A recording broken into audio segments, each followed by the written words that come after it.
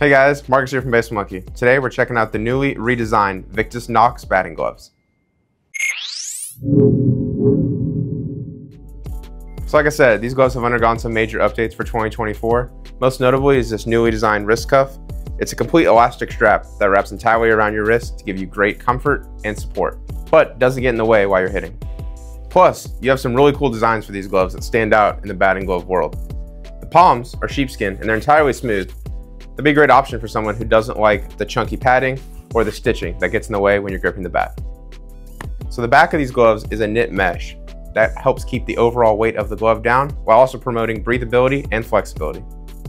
Overall, these are a great glove for someone who wants a supportive wrist cuff but doesn't want a full leather glove. So you get the benefits of both. You also get a smooth palm and tons of awesome colors to choose from.